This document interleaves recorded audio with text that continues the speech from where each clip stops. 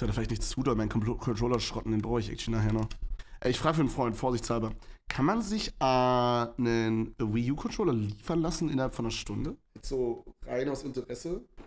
Ah, vielleicht sollte ich ein bisschen Gaffer-Tape drum machen, vorsichtshalber. Junge, das ist wirklich so richtiges, das ist richtiges Scuffed-Setup, Alter. Das ist mein Controller.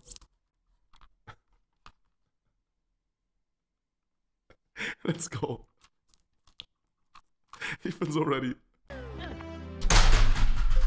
Ich habe ein Loch in die Wand gemacht.